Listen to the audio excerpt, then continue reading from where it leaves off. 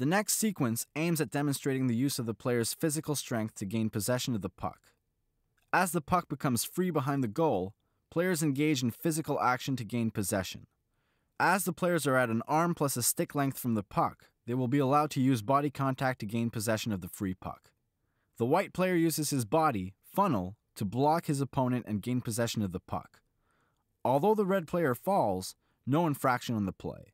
We must not penalize the player who wins his physical battle.